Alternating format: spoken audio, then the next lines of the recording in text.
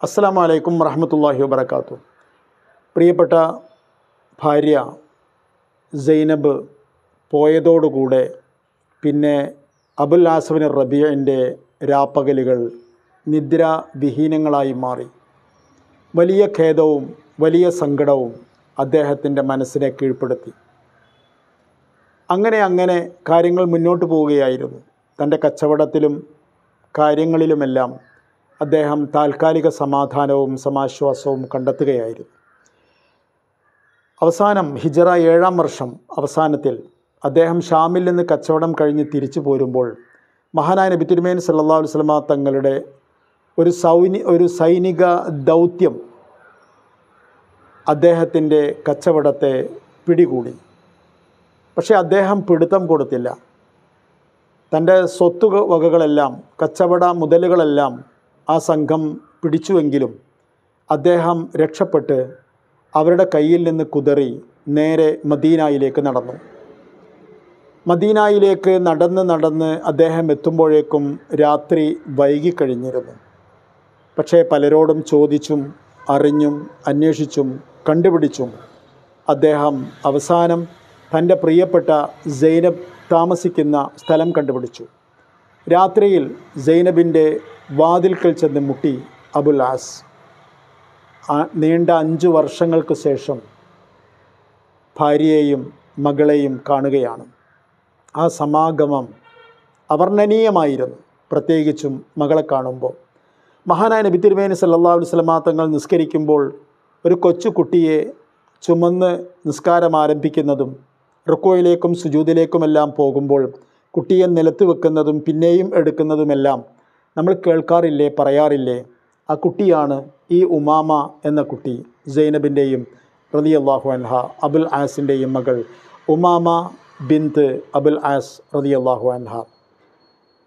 ഏതായിരുന്നാലും വിഷയങ്ങളെല്ലാം ഒറ്റ ശ്വാസത്തിൽ അബുൽ ആസ് സൈനബിനോട് പറഞ്ഞു.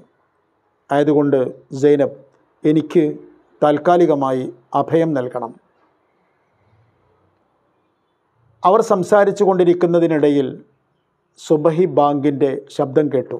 സൈനബ് നേരെ പള്ളിയിലേക്ക് പോകാനൊരുങ്ങി. പള്ളിയിൽ അവരെത്തുമ്പോഴേക്കും മഹാനായ നബി തിരുമേനി സല്ലാ വസ്ലമാ തങ്ങളും സഹാബിമാരും നിസ്കാരം നിർവഹിച്ച് കഴിഞ്ഞ് ഇരിക്കുകയായിരുന്നു. വാതിൽക്കൽ നിന്നുകൊണ്ട് ഉറക്കെ സൈനബ് റതിയല്ലാഹു അൻഹ വിളിച്ചു പറഞ്ഞു ജനങ്ങളെ ഞാൻ അബുൽ ആസുബിനുർ റബീഇന് അഭയം നൽകിയിരിക്കുന്നു. ശബ്ദം കേട്ട് നബി സല്ലാ വസ്ലമാ തങ്ങൾ വിഷയം മനസ്സിലാക്കി. നബി ജനങ്ങളോട് പറഞ്ഞു നമ്മുടെ സമുദായം അങ്ങനെയാണ്. ആണായാലും പെണ്ണായാലും അടിമയായാലും ഉടമയായാലും അവർ നൽകുന്ന വാക്ക് അവർ നൽകുന്ന അഭയം അതെല്ലാവരും അംഗീകരിക്കണം. ആയതുകൊണ്ട് അബുൽ ആസുബിൻ റബിയനെ ആരും ഒന്നും ചെയ്യരുത്.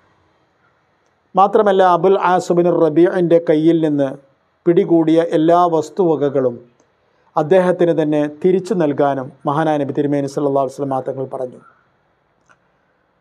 പക്ഷേ നബി മകളോട് പറഞ്ഞു മകളെ അബുൽ ആസ് നീയുമായി ബന്ധപ്പെടാൻ പാടില്ലാത്തതാണ്.